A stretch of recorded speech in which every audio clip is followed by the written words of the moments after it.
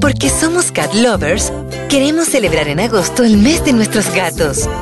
Cat Lover Mastercard. Amamos a los gatos porque son gatos.